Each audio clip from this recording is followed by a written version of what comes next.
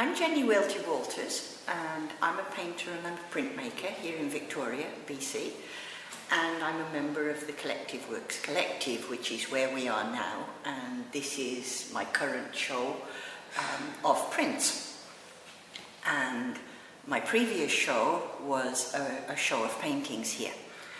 I became a painter and printmaker about 10 years ago. Um, I took early retirement because I'd been a prof of contemporary French literature and one of the founders of the Women's Studies program at the University of Victoria. And then I left and I went to the Victoria College of Art. Had a grand time. It was a wonderful place. We had three wonderful years. But it was primarily a place to paint. And so primarily we painted.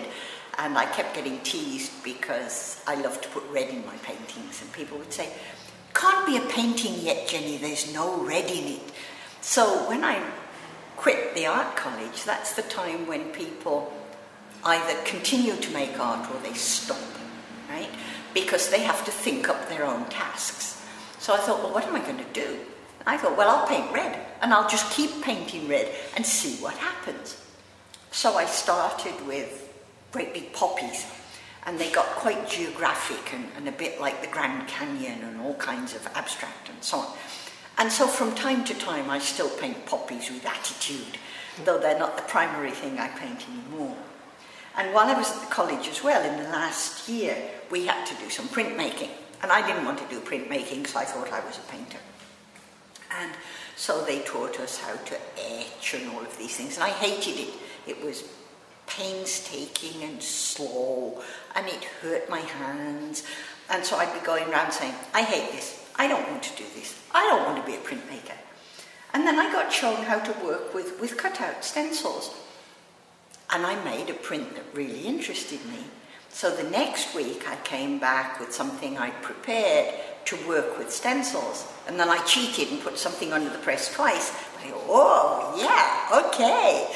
And out of that whole class, I'm the only person who's still a printmaker, oh, which is kind of funny. And we were talking about it, my old teacher and I were talking about it the other day with a group, and the group said she didn't really do that, did she? Because I said I was going around saying, I hate this. And they said, Did you Maya? No, out loud, you know, I hate this. And my teacher said, Yes, she did. but we're now in a collective together. And I love to make prints now. And as you can see, I, I work with cutouts on a zinc plate, or in this case, four plates. And I put ink on the plate and ink on my cutouts, and I make a print. And then I move the cutouts, and they leave shadows where they've been on the plate so that I can build a crowd or build density. Because what interests me is movement, right? And you can see that my people, I must have a collection of about 50 people with umbrellas, all moving in different ways. And it's the different ways they move that interest me, and not where they are particularly. I mean, these are Western people, as you can see. And all umbrellas have to be red, of course. Uh, but um, I'm not interested in making a street with, with cars and, and buildings and things. I'm only interested in how the people work and how their body language is. Right? No faces, no particular clothes, um, but the way they move and where they're going. And gradually I've come to do that in my painting as well. Um, now I work with total gesture black gesso, you know, gesso's the stuff you put under a painting normally, right, to stop the canvas absorbing the paint. Um, and you can get it black, and it's, it's, it's lovely, dense, gorgeous stuff. And it's kind of muddy. And so I do it with a great big painting knife and on raw canvas, canvas that hasn't been treated, so that it's got texture. And the, and the gesso catches on it in unexpected ways and makes patterns that I couldn't create deliberately.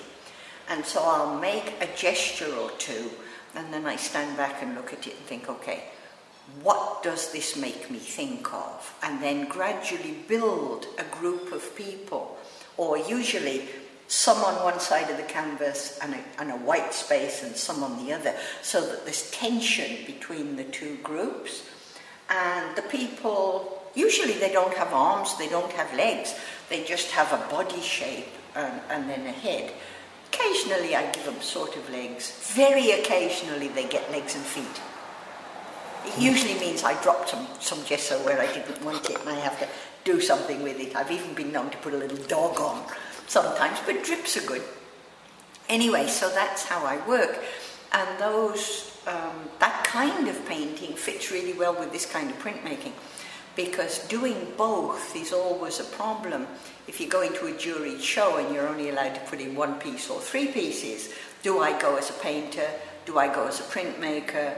Do I do one of each? Or if I'm having a show, how do I put it together? Here I'm lucky because if I share with somebody, like I'm sharing with, with Jan the sculptor, um, I can have two shows. So the one was a, as, as a painter and one was as a printmaker. But if they have to hang together, it's really nice that finally, at the moment anyway, what I do does go well together because I finally got my act together, I guess, and uh, my interest in how people are.